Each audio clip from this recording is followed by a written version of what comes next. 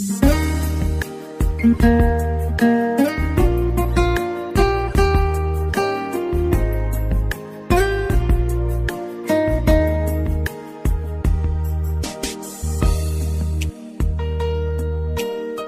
thế chương 27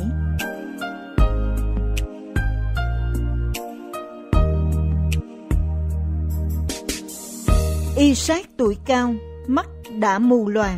Ông gọi Ê Sâu, con lớn mà nói chuyện. Ê Sâu, con, dạ. Isaac bảo, cha đã già cả rồi, không còn sống được bao nhiêu ngày nữa. Con hãy lấy cung tên vào rừng săn bắn và đem thịt về rồi nấu nướng các món ngon cha thích dọn lên cho cha ăn để linh hồn cha chúc phước cho con trước khi cha chết. Rebecca nghe được lời Isaac dặn Esau. Vậy Esau ra đồng săn thịt rừng để đem về. Rebecca bảo Jacob con trai mình: "Này, mẹ nghe cha bảo Esau anh con rằng con hãy đem thịt rừng về cho cha và nấu dọn các món ngon cho cha ăn để cha chúc phước cho con trước mặt Chúa trước khi cha qua đời. Bây giờ, con ơi, con hãy nghe lời mẹ bảo đây.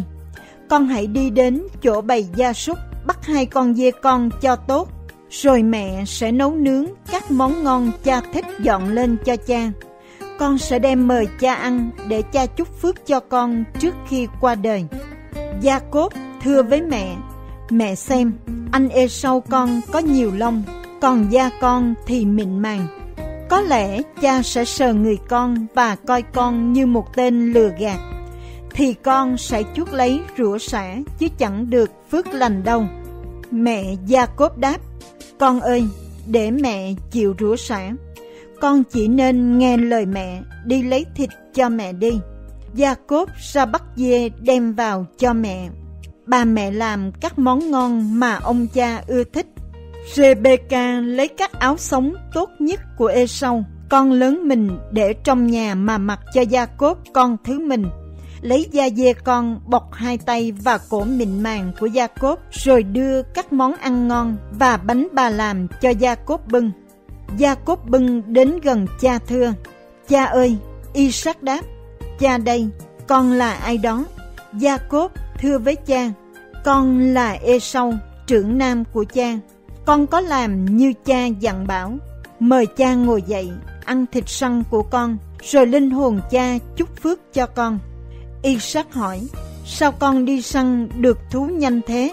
Gia Cốp đáp, vì Chúa, Đức Chúa Trời của cha cho con thành công. Y sắc nói với Gia Cốp, con lại gần đây, để cha sờ xem có phải Esau thật không. Gia Cốp lại gần cho cha sờ mình. Y sắc nói, giọng nói thì của Gia Cốp, mà cánh tay lại của Esau. Isaac không nhận ra người, vì hai cánh tay đều có nhiều lông như tay của Esau, nên chúc phước lành cho con. Isaac hỏi, con có phải thật là Esau không? Gia Cốp thưa, chính con là Esau mà. Isaac bảo, Vậy con hãy đem thịt rừng đến đây cho cha ăn để cha chúc phước cho con. Gia Cốp đem thịt đến mời cha ăn và rót rượu cho cha uống. Isaac bảo, con lại đây, hôn cha đi. Gia cốt đến hôn cha. Isaac ngửi mùi thơm của áo ê sâu và chúc phước. Mùi hương của con trai ta chẳng khác nào hương hoa đồng nội mà Chúa ban phước cầu xin Đức Chúa Trời ban cho con nhiều sương mốc trên trời, đất đai màu mỡ, nhiều lúa mì rượu mới. Nguyện các dân tộc sẽ phục vụ con, các nước sẽ quy phục con. Con hãy cai trị các anh em con. Tất cả bà con quyến thuộc đều quy phục con. Tất cả những người nguyền rủa con sẽ bị nguyền rủa và tất cả những người chúc phước con sẽ hưởng phước lành. Isaac vừa chúc phước cho Gia Cốp xong, Gia Cốp mới rời khỏi cha mình thì Esau đi săn trở về. Esau cũng nấu món ăn ngon rồi dọn lên cho cha. Esau thưa, cha ơi, mời cha ngồi dậy, dùng thịt rồi cha sẽ chúc phước cho con. Isaac hỏi, ai đó? Con đây, cha, con là Esau, con trưởng nam của cha đây mà. Isaac run rẩy dữ dội hỏi, Thế thì đứa nào mới dọn thịt rừng cho cha ăn trước khi con đến? Cha đã ăn và chúc phước lành cho nó rồi. Vậy nó sẽ được phước. Ê sâu bật lên khóc rất cay đắng. Cha ơi, cha cũng chúc phước cho con với. Isaac đáp, em con đã vào đây gạt cha nên đã cướp các lời chúc lành cho con rồi. Ê sâu cay đắng nói, hèn chi người ta gọi nó là thằng lường gạt. Nó đã cướp quyền trưởng nam của con, bây giờ nó lại đánh cắp phước lành của con nữa. Cha ơi, cha còn dành cho con ít phước lành nào không? Isaac đáp, cha đã lập nó làm chủ con. Cha đã cho các anh em họ hàng làm tôi tớ nó. Ta đã cho nó lúa và rượu mới. Vậy cha có thể làm gì cho con đây? Ê sâu năn nỉ. Cha chỉ có một phước lành thôi sao? Cha ơi, xin cha cũng ban phước cho con. Ê sâu khóc lóc. Isaac nói, con sẽ ở một nơi cằn cỗi, khô hạn, thiếu sương mốc từ trời. Nhưng con sẽ dùng lưỡi gươm chiến đấu để sống còn. Con phải phục dịch em con một thời gian, nhưng về sau con sẽ chống đối và thoát ách nó. Từ đó, Esau căm ghét Gia Cốp, vì Gia Cốp đã cướp phước lành của mình. Esau tự nhủ, cha ta gần qua đời rồi, bấy giờ ta sẽ giết Gia Cốp có người thuật lại các lời của Esau cho bà Rebecca. Bà sai gọi Gia Cốp đến và bảo, Này Esau định giết con. Bây giờ con nghe lời mẹ trốn qua nhà La-ban cậu con ở Cha Ranh. Con cứ ở đó cho đến khi nào anh con ngu giận và quên đi việc con đã làm. Lúc đó mẹ sẽ tin cho con biết mà trở về nhà. Không lẽ mẹ phải mất cả hai đứa con trong một ngày sau? Bà Rebecca nói với chồng, tôi đã chán ngấy mấy cô dâu người hết.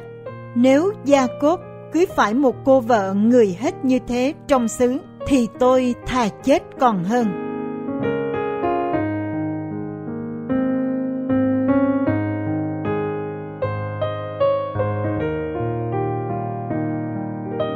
Sáng thế Chương 28 Isaac bảo Gia-cốp đi cha rang Isaac gọi Gia-cốp vào chúc phước lành rồi căn dặn Con đừng cưới vợ Canaan Trái lại, con hãy lên đường về xứ Pha Đan Aram Đến nhà Betuen, ông ngoại con Rồi cưới một cô con gái của cậu La-ban làm vợ Đức Chúa Trời toàn năng ban phước cho con Cho con đông con, cho dòng dõi con sinh sôi nảy nở và trở thành một cộng đồng nhiều dân tộc. Cầu Chúa cho con và dòng dõi con hưởng phước lành của Abraham và cho con làm chủ miền đất con đang kiều ngụ mà Đức Chúa Trời đã ban cho Abraham. Vậy Isaac sai Jacob đi qua xứ Pha Đan Aram, đến nhà La-ban, cậu của Jacob và là con trai của Betuen người Aram. Esau cưới con của Ismael. Esau nhận thấy cha mình chúc phước cho Gia Cốp, bảo Gia Cốp qua xứ Pha Đan Aram kiếm vợ, và nghiêm cấm Gia Cốp cưới vợ người Canaan và được cha chúc phước lành. Gia Cốp vâng lời và lên đường qua xứ Pha Đan Aram. Esau thấy những người vợ Canaan không đẹp lòng Isaac cha mình. Esau bèn đi đến nhà chú mình là Ismael cưới thêm cô vợ thứ ba. Nàng tên là Mahabat, con Ismael, cháu nội Abraham và em của nebajot giấc mộng của Gia-cốp tại Bê-tên. Gia-cốp từ giả biệt Seba đi qua xứ Pha Đan Aram. Đêm ấy, Gia-cốp dừng chân, chọn một tảng đá gối đầu nằm ngủ. Gia-cốp nằm mộng, thấy một chiếc thang bắt từ đất lên trời và thấy các thiên sứ lên xuống trên thang ấy Chúa đứng trên đầu thang gọi Gia Cốp. Ta là Chúa, Đức Chúa Trời của Abraham và của Isaac cha con. Đất con đang nằm đây thuộc về con. Ta ban miền đất này cho con và cho dòng dõi con. Dòng dõi con sẽ đông như các bụi trên mặt đất. Con sẽ mở rộng biên cương cả đông tây nam bắc.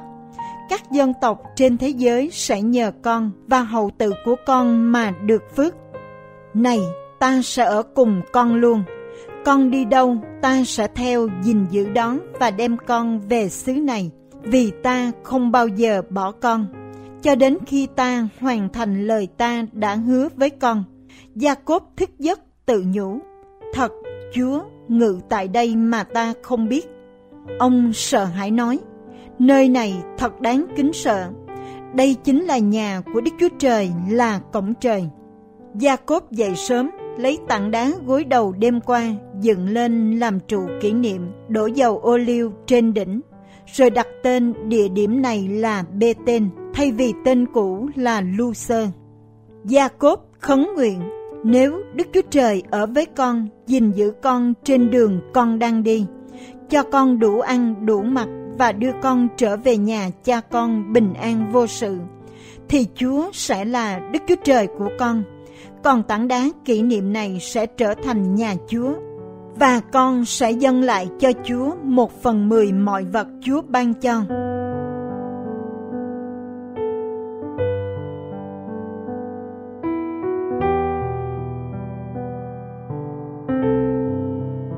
Sáng thế, chương 29 Hành trình của Gia Cốp Gia Cốp tiếp tục đi đường và đến một xứ ở phương Đông. Thấy đằng xa có ba bầy chiên đang nằm bên giếng. Giữa một cánh đồng là nơi chiên đến uống nước. Tuy nhiên trên miệng giếng có một tảng đá lớn đầy lại. Vì theo lệ thường phải đợi cho bầy súc vật họp lại đông đủ, người ta mới lăn tảng đá đi. Khi chúng uống xong, Họ đặt tảng đá lên miệng giếng như cũ. Gia Cốp đến chào kẻ đang chăn chiên, hỏi họ từ đâu đến đây. Họ đáp từ Pha Đan Aram. Gia Cốp hỏi, các anh có biết ông La Ban, con Na Cô không? Họ đáp, biết chứ. Gia Cốp tiếp, ông ấy mạnh giỏi không? Đáp, ông ta vẫn mạnh khỏe. Kìa cô ra trên, con ông ấy đang dẫn bầy chiên đến kia kìa. Gia Cốp gợi ý, trời hãy còn sớm, chưa đến giờ tập hợp các bầy gia súc để đem đến. Sao các anh không cho chúng uống nước rồi thả chúng đi ăn trở lại? Họ đáp, không được. Theo lệ phải đợi các bầy súc vật tề tựu đông đủ mới lăn tảng đá đi cho chúng uống nước. Hai bên còn đang chuyện trò. Cô Sa Trên dẫn bầy chiên của cha đến giếng vì cô cũng là người chăn Gia Cốp biết Sa Trên là em cô cậu với mình và bầy chiên này cũng của cậu mình. Nên Gia Cốp một mình đến lăn tảng đá để trên miệng giếng, rồi múc nước cho bầy chiên của cậu mình uống. Gia Cốp hôn ra trên rồi khóc òa lên và cho nàng biết mình là bà con, là cháu gọi La Ban bằng cậu ruột. Ra trên nghe xong, vội vã chạy về báo tin cho cha.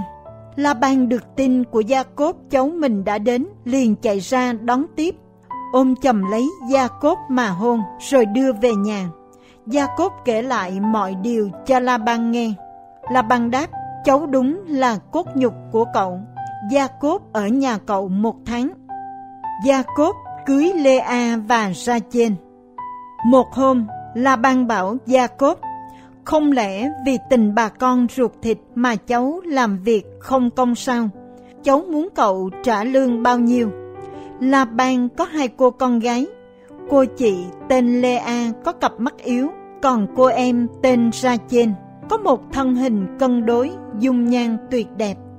Gia Cốp yêu Ra Trên nên đề nghị với cậu. Cháu xin giúp việc cho cậu 7 năm nếu cậu gả cho cháu cô Ra Trên, con gái út của cậu. La Ban chấp thuận ngay. Thà cậu gả nó cho cháu, còn hơn gả cho người ngoài, hãy ở với cậu. Vậy Gia Cốt phục dịch cậu suốt 7 năm để được cưới Sa Trên. Nhưng vì yêu Sa Trên nên Gia Cốt coi 7 năm như bằng đôi ba ngày. Gia Cốt nhắc La Ban cháu đã làm đầy đủ, xin cậu gả nàng cho con để chúng con chung sống. La Ban bèn đặt tiệc lớn, mời tất cả những người trong cộng đồng đến dự lễ cưới. Nhưng đêm ấy, La Ban đánh tráo Lê A thay cho Sa Chen. Gia Cốp ngủ với Lê A. La Ban cũng cho đầy tớ gái sinh ba theo hầu Lê A. Sáng hôm sau, Gia Cốp thức dậy thấy Lê A. Gia Cốp nói với La Ban, sao cậu gạt tôi vậy? Tôi phục dịch cậu chỉ vì Sa Chen. La Ban đáp, phong tục đây là thế, không được gả em trước chị sau. Cháu cứ đợi qua tuần trăng mật với Lê A, cậu sẽ gả luôn ra trên cho. Với điều kiện cháu giúp việc thêm cho cậu 7 năm nữa. Gia Cốp đồng ý, sau tuần ấy, La Ban gả luôn ra trên cho Gia Cốp và cho cô đầy tớ gái Bila theo hầu ra trên. Gia Cốp sống với Ra Trên và yêu Ra Trên hơn Lê A. Gia Cốp phục dịch La Ban thêm 7 năm nữa. Con cái của Gia Cốp và Lê A. Chúa thấy Lê A bị ghét, bèn cho nàng sinh sản, còn Ra Trên phải son sẻ. Lê A thụ thai sinh con đầu lòng, đặt tên là Ruben vì bà nói Chúa thấy nỗi đau khổ của tôi, bây giờ chồng tôi sẽ yêu tôi. Lê A thụ thai nữa, sinh con trai thứ nhì, đặt tên là Simeon vì bà nói, Chúa đã nghe rằng tôi bị ghét bỏ nên ban nó cho tôi. Lê A thụ thai lần thứ ba, sinh con trai và đặt tên là Lê Vi vì bà nói, bây giờ chồng tôi sẽ kháng khích với tôi vì tôi sinh được ba con trai cho người. Lần thứ tư, Lê A thụ thai, sinh con trai và đặt tên là Juda, vì bà nói, bây giờ tôi ngợi ca Chúa, sau đó nàng thôi sinh nở một thời gian.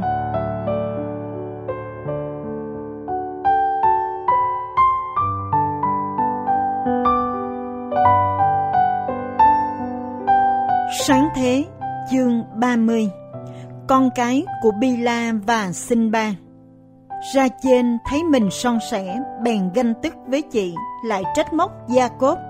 Anh phải cho tôi có con, bằng không tôi sẽ chết. Gia Cốp nổi giận nói, anh có thay quyền Đức Chúa Trời được đâu. Chỉ một mình Ngài có quyền để cho em son sẻ. Ra trên đề nghị, đây Bila, đầy tớ gái của em. Anh ngủ với nó để nó sinh con cho em, và nhờ nó em cũng tạo dựng một gia đình cho em. Vậy ra trên trao Bila đầy tớ gái của mình cho chồng.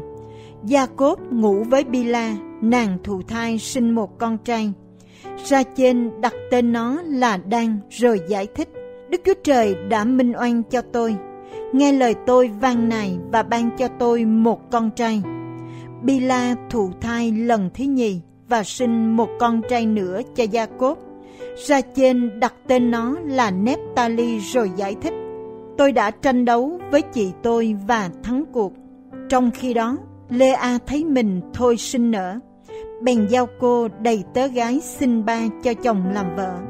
Sinh ba thụ thai, sinh một con trai cho Gia Cốt. Lê A nói, thật may mắn, nên đặt tên nó là Gác, nghĩa là may mắn. Sinh ba lại thụ thai và sinh con trai thứ nhì.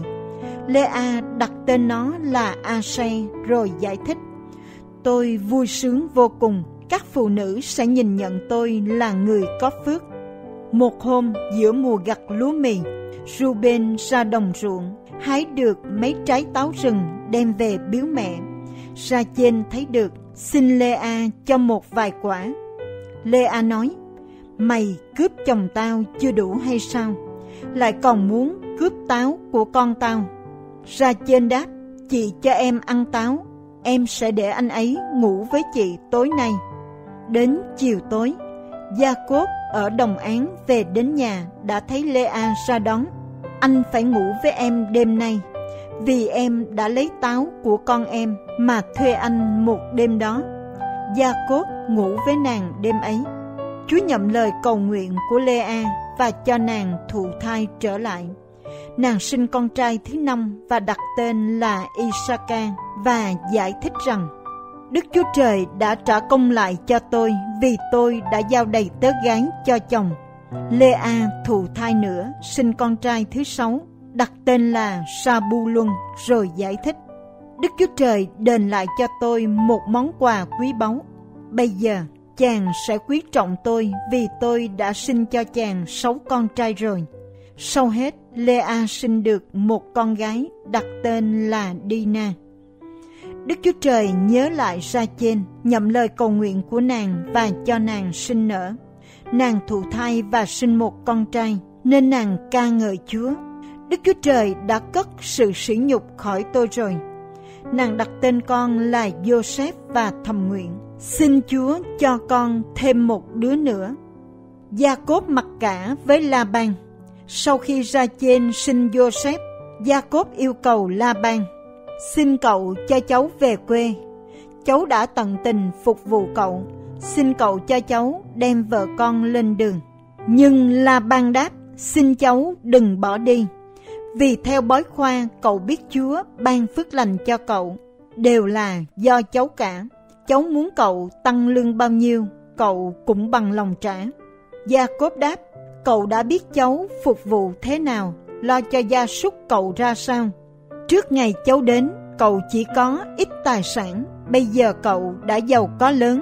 Chúa đã ban phước dồi dào cho cậu qua mọi việc cháu làm.